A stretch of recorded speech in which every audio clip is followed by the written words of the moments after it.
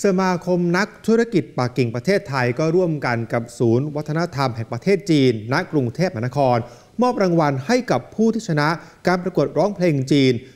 2024 หรือว่า Cultures of China Water Cube Cup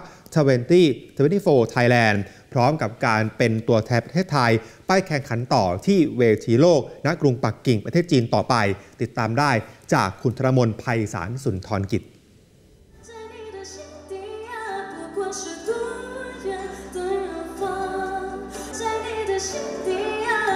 การขับร้องบทเพลงอันไพเราะแสดงให้เห็นถึงศักยภาพการร้องเพลง และทักษะการใช้ภาษาจีน คือหนึ่งในผู้ชนะการแข่งขันประกวดร้องเพลงจีน Culture of China Water Q Cup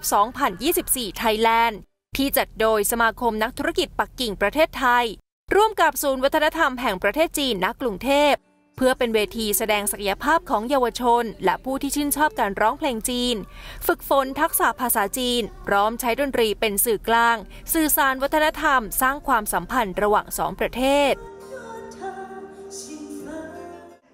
ภายในงานมีนางพันจิน อัครราชทูตที่ปรึกษาแผนกกงสุลสถานเอกอัครราชทูต สาธารณรัฐประชาชนจีนประจำประเทศไทย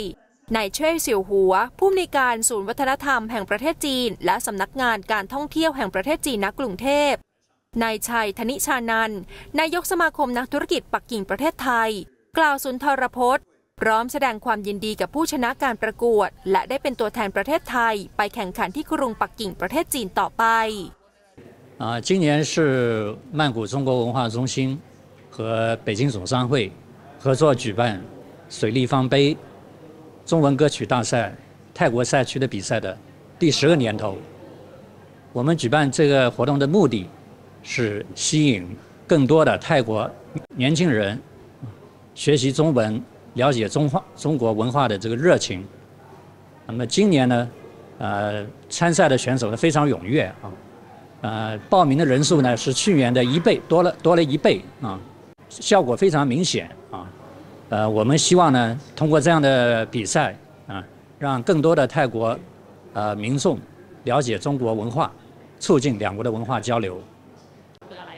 呃，我们主要是传承中国文化，让那个呃这些青年的孩子们学中文，用用歌声啊来个这个这个呃方式是最好的，非常容易的把中文掌握到这个。呃，我们会继续努力，呃，在泰国继续推推广，然后呃吸引一些青年人，甚至一些泰国的呃专业演员啊、愿意唱中文歌的，都来参加这个活动。参加中文活动呢，主要是为了呃让他们学中文，把中文学好。 การแข่งขันประกวดร้องเพลงจีน 2024 Culture of China Water Q Cup Thailand รอบชิงชนะเลิศ จัดขึ้นในวันอาทิตย์ที่ 12 พฤษภาคม 2567 ที่ผ่านมา โดยจะมีผู้เข้าแข่งขัน 4 คนได้แก่ ผู้ได้รับรางวัลอันดับที่ 1 เหรียญทองกลุ่มเยาวชน ผู้ได้รับรางวัลอันดับที่ 2 เหรียญเงินกลุ่มเยาวชน ผู้ได้รับรางวัลอันดับที่ 1 เหรียญทองกลุ่มผู้ใหญ่ และผู้ได้รับรางวัลอันดับที่ 2 เหรียญเงินกลุ่มผู้ใหญ่ เป็นตัวแทนประเทศไทยเข้าร่วมการแข่งขันประกวดร้องเพลงจีน 2024 Culture of China Water Q Cup รอบชิงชนะเลิศระดับโลก ณ กรุงปักกิ่งประเทศจีนต่อไปธันรมนภัยสารสุนทรกิจ TNN ช่อง 16 รายงาน